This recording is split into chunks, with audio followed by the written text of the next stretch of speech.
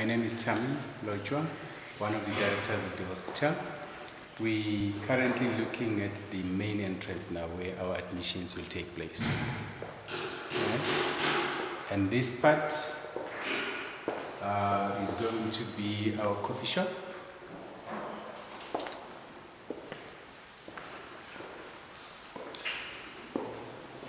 People will be sitting here and uh, there's also